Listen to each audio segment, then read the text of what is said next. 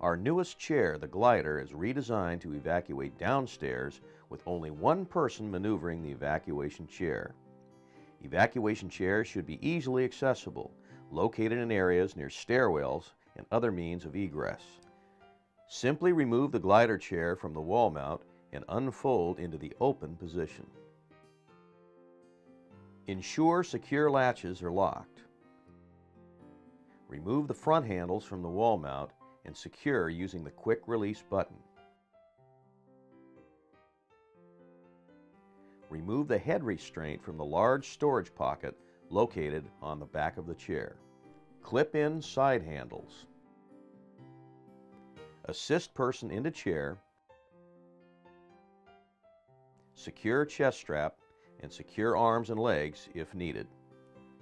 Wheel evacuee into position for evacuation downstairs or relocation upstairs. The glider requires only one person to descend stairs. The glider track allows for smooth, steady descent. Many people are immobilized by injuries during emergency evacuations and require quick, safe transportation to medical aid. This chair helps reduce trauma and gets the injured away from danger quickly. Whether it's used in the home or high-rise building, the glider is the ideal device for fast, safe evacuation. No other devices exceed our evacuation chairs in quality, reliability, functionality, and pricing.